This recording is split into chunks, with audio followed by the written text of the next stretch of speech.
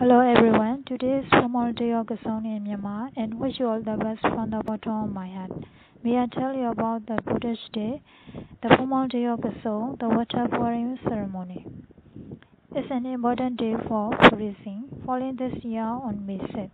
It's the day Lord Buddha was born, the day he attained enlightenment, and it's the day of his demise is the day on which the original Bo Tree arose from out of the earth as an assurance of the coming of the Lord Buddha.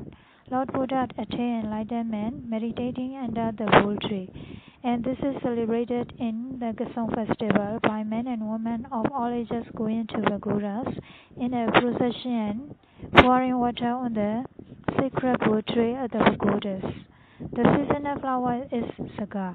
On the formal day of Buddhist, devotees celebrate by not only water pouring ceremony at the Bo Tree, but also by keeping Sabbath, practicing meditation, and offering flowers, light, water, water and incense to the images of the Lord Buddha.